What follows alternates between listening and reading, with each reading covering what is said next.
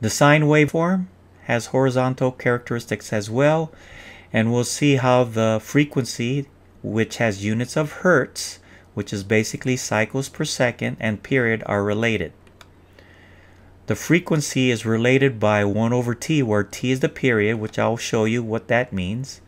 And then we have another expression which is can be derived from the first one, where t, the period, equals 1 over f.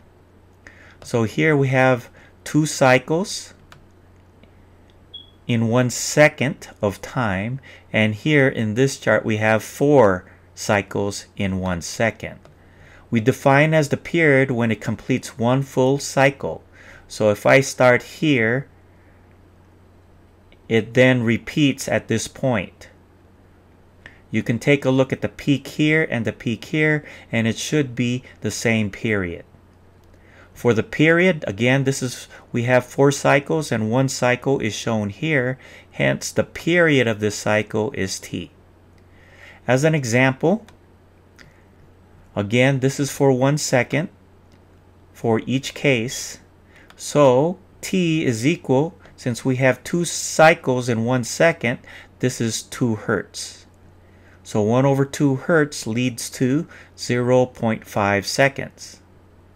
On the right side, t is equal to 1 over 4 hertz since we have 4 cycles over 1 second. So 1 over 4 hertz leads to 0.25 seconds. Take a look at the relationship between degrees and radians. We're going to use the unit circle. And we know that one cycle encompasses 2 pi radians for a unit circle since the circumference of this unit circle is 2 pi. Also, we know for this one cycle, this red dot traverses 360 degrees as well. Hence, we can define the frequency of cycles per second with another derived frequency relationship by multiplying f by 2 pi, which yields radians per second since we're multiplying this by 2 pi radians. We define 2 pi f as omega, which we call the radian frequency. So let's look at this in a different perspective from this graph and how we relate radians and degrees. Again, we can have a radian frequency as equal to 2 pi f, where f is the frequency. We know that 2 pi is 360 degrees for one cycle, so at the end of this cycle, we can label this as 2 pi, and just below that we can just equivalently put 360 degrees as well. When you divide by 2 on both sides, that yields pi is equal to 180, and hence that's half a cycle.